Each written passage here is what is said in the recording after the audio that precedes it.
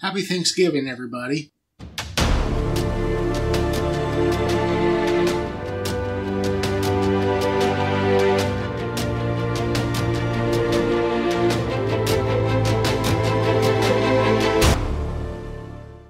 It's been a bit of a nightmare trying to get this video recorded today. There's just been so much noise happening all around me, and if I'm going to do it, I'd prefer to have it a little bit quieter. And even at that, we still have some stuff going on. So if you hear a dog barking or any other various noise, just try to ignore it.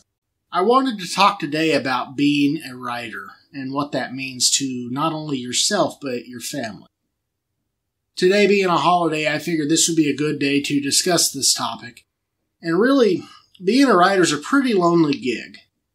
You are going to spend hours upon hours sitting at a laptop or typewriter or notepad just you know scribbling away. Really nobody else can do that with you. Nobody else can really partake with you. It's a, it's a solo journey that you are on. You have to make time for your family on occasion. Holidays are pretty important. You know, I don't really have a significant other for me to have to make time with, but I still have to make time with my daughter occasionally. And it's just, it's one of those things that you have to schedule family time in addition to your writing. You can't just barricade yourself off all the time and write. And as much as I wish that I could sometimes, it's just not going to happen that way.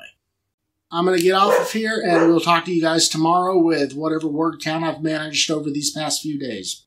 We'll see you then. Bye.